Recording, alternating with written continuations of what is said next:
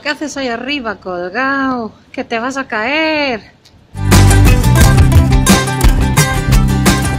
Esta es la estatua de la armonía.